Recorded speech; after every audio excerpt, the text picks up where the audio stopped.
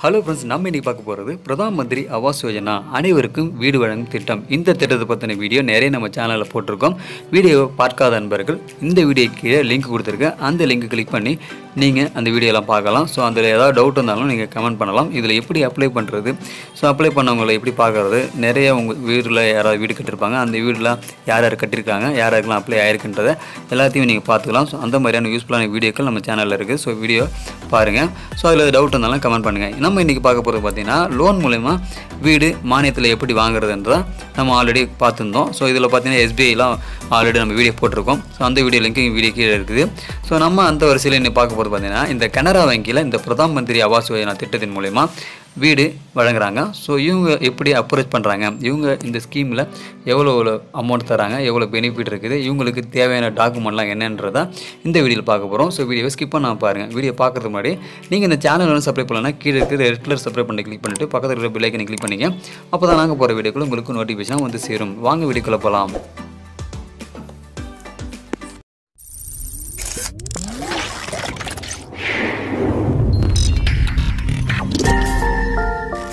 Subscribe to my channel. இந்த வெப்சைட்டோட லிங்கை வீடியோ கீழே கொடுத்துருக்கேன். லிங்க் கிளிக் பண்ணி ஓப்பன் பண்ணிங்கனாக்கா இந்த இன்டர்வியூஸ் வருவீங்க கனரா வங்கி பிரதான் மந்திரி ஆவாஸ் யோஜனா வீட்டு வசதி திட்டம். என்ன சொல்லிங்க பார்த்தீங்கன்னா கனரா வங்கி பிஎம்ஏவை ரெண்டாயிரத்தி பத்தொம்போது ஆவணங்கள் மானியம் திட்டம் வட்டி விகிதங்கள் கடன் தொகை இஎம்ஐ செயலடக்கம் தகுதி கனரா வங்கியின் விநியோக செயல்முறை ஆகியவற்றை டீல் நாலு லோன்களில் சரிபார்க்கவும் சொல்லியிருக்காங்க ஸோ இவங்க என்ன சொல்லியிருக்காங்க பார்த்தீங்கன்னா இந்த திட்டத்தின் கீழ் இந்திய அரசு ஏழை நகர்ப்புற வர்க்கம் அல்லது கிராமப்புற மக்களுக்கு சொந்தமான எந்த ஒரு நபருக்கும் மலிவு வீடுகளை வழங்குகிறது. கனரா வங்கி பிஎம்ஏ கடன் தயாரிப்பு வழங்கும் வங்கிகளில் ஒன்றாகும். மேலும் பிஎம்ஏஒய் ஜீரோ செயலடுக்க கடனத்துடன் வருகிறது. கனரா வங்கியின் கீழ் திட்டத்தின் சில அடிப்படை அம்சங்கள் மற்றும் நோக்கங்கள் கீழே பட்டியலிடப்பட்டுள்ளன்னு சொல்லியிருக்காங்க. கீழே பார்த்தீங்கன்னாக்கா ஒரு ஏழு ஸ்டேட்மெண்ட் கொடுத்துருக்காங்க. வட்டி வீதங்கள் மானிய திட்டங்கள் தகுதி வருமான அளவுகோல் கடன் தொகை திரும்ப செலுத்துதல் பாதுகாப்பு ஆவணங்கள் சொல்லிட்டு எட்டு காலம் கண்டிஷன் கொடுத்துருக்காங்க. ஸோ இதில் பார்த்தீங்கன்னாக்கா இந்த வெப்சைட்லேயே நீங்கள் வந்து இந்த விண்ணப்ப கடனுக்கு விண்ணப்பிக்கலாம் சொல்லியிருக்காங்க ஸோ நீங்கள் போயிட்டு இதில் போய்ட்டு உங்களோட நேமு மொபைல் நம்பர் அதுக்கப்புறம் இமெயில் ஐடி அதுக்கப்புறமா கிளிக் பண்ணிக்கலாம் உங்களோட ஏரியா எந்த ஊருன்னு சொல்லிட்டு செலக்ட் பண்ணிக்கலாம். இதில் நிறைய ஊர் கொடுத்துருக்காங்க. பார்த்து செலக்ட் பண்ணிக்கலாம். தேவைன்றவங்க இது யூஸ் பண்ணிக்கங்க. ஸோ நம்ம இப்போ ஃபுல் டீட்டெயில் பார்க்கலாம். அது பார்த்தீங்கன்னா கீழே வட்டி விகிதம் கொடுத்துருக்காங்க. வட்டி விகிதம் பார்த்தீங்கன்னாக்கா எட்டு புள்ளி ஐம்பது பர்சன்டேஜ்லேருந்து எட்டு புள்ளி எழுபத்தஞ்சு பர்சன்டேஜ் வரைக்கும் தராங்க. இது எல்லாமே காமனாக கொடுத்துருக்காங்க அவங்க திட்டத்தின் கீழ் மானியம் பார்த்தீங்கன்னாக்கா எந்த ஒரு பயனாளியும் பதினைந்து வருடத்திற்கு அல்லது குறைவாக இருந்தாலும் அதற்கு ஆறு புள்ளி ஐந்து ஐம்பது பர்சன்டேஜ் வட்டி விகிதம் மானியமாக தகுதி உடையவர் சொல்லியிருக்காங்க. நிகர தற்போதைய மதிப்பு பார்த்தீங்கன்னா ஒம்பது பர்சன்டேஜ் தள்ளுபடி விகிதத்தில் கணக்கிடப்படுகிறது.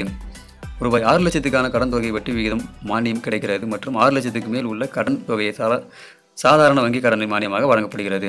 ஆறு லட்சத்துக்கு மேல் நீங்கள் கடன் வாங்கினாக்கா அது சாதாரண வங்கி கடன் மாதிரி வழங்குறாங்க மானியமும் வழங்குறாங்க அதுக்கு.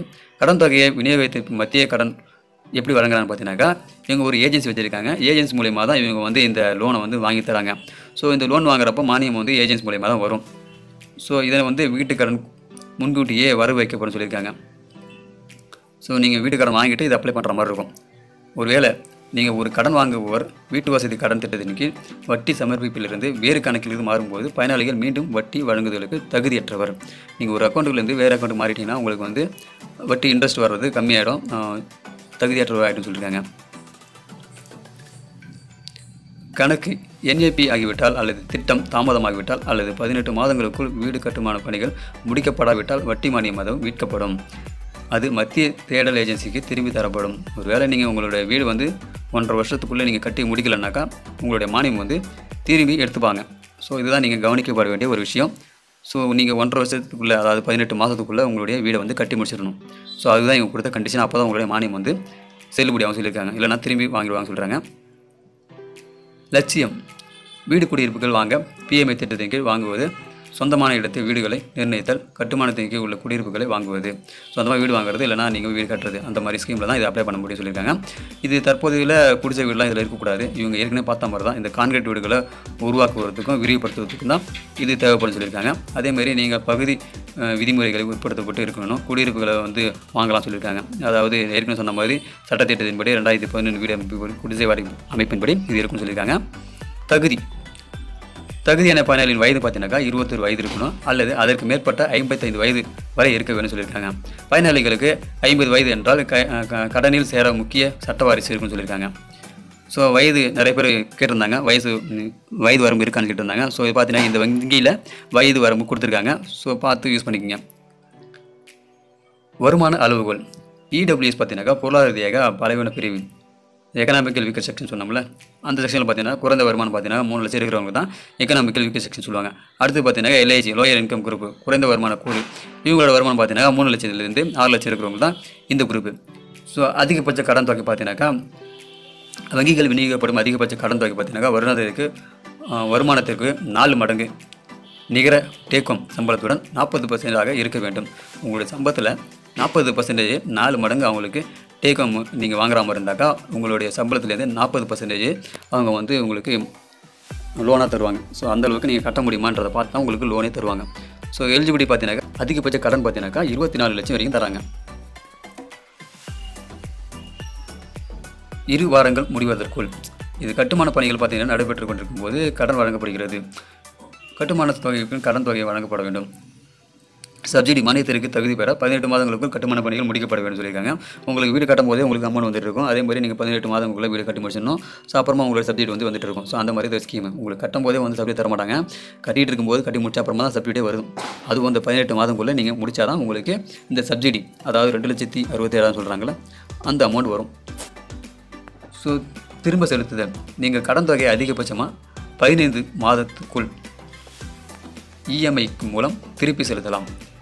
நீங்கள் வந்து கடன் கடனை வந்து பதினைந்து மாதத்துக்குள்ளே இஎம்ஐ மூலமாக செலுத்தி செலுத்தலாம் சொல்லியிருக்காங்க ஸோ அதிக பணம் வச்சிருக்கிறவங்க சீக்கிரமாக செலுத்திக்கலாம். கம்மி பணம் வச்சிருக்கவங்க நீங்கள் பதினைந்து வருடங்கள் வரைக்கும் நீங்கள் செலுத்திக்கலாம் கடனின் நேரம் பார்த்தீங்கன்னாக்கா பதினைந்து ஆண்டுகளுக்கு மேல் இருக்கலாம். ஆனால் வட்டி மானியம் வந்து பதினைந்து ஆண்டுகள் வரை மட்டுமே இருக்க வேண்டும். அதற்கு மேல் இருக்கக்கூடாதுன்னு சொல்லியிருக்காங்க. ஸோ இதுவும் கவனிக்க வேண்டிய விஷயம். வீடு அல்லது ஃப்ளாட் கட்டப்படா கட்டப்பட்டால் வீடு அல்லது ஃப்ளாட் முடித்து ஒரு மாதத்திற்கு பிறகு அல்லது பதினெட்டு மாதங்களுக்கு முதல் தள்ளுபடி செய்யப்பட்டு எது முந்தையதோ அதை திருப்பி செலுத்த வேண்டும் சொல்லியிருக்காங்க. ஸோ எது நீங்கள் கட்டுறீங்களோ வாங்குறீங்களோ அதை டாக்குமெண்ட்டை திருப்பி செலுத்த சொல்லியிருக்காங்க. பாதுகாப்பு வீட்டின் சமமான அடமானம்.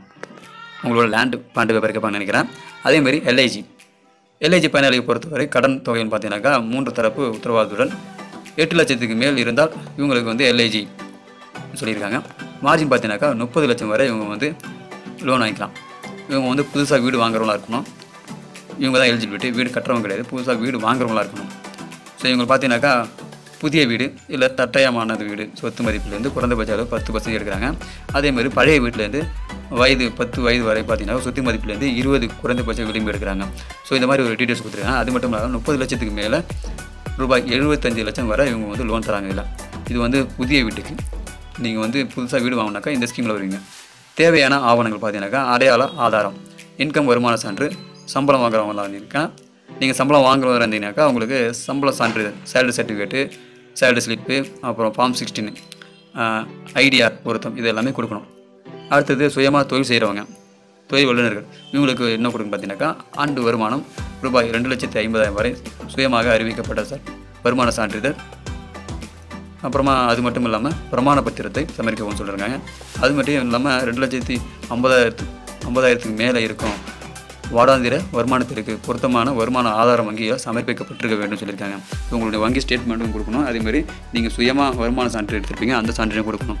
ஸோ இதுதான் அவங்க கொடுத்துருக்குது ஏற்கனவே சேலரி அக்கௌண்ட் வச்சிருக்கிறவங்களுக்கு ஒரு மாதிரியான ப்ரூஃப் கேட்குறாங்க ஃபார்ம் சிக்ஸ்டீனில் கேட்குறாங்க இல்லை சுயமாக தொழில் செய்கிறோம் இவங்களுக்கு பார்த்தீங்கன்னா சொந்தமாக நீங்கள் வருமானம் சர்டிஃபிகேட் எடுத்துக்கணும் அந்த சர்டிஃபிகேட் கேட்குறாங்க ஸோ உங்களுக்கு தெளிவாக புரிஞ்சுக்கணும்னு நினைக்கிறேன்.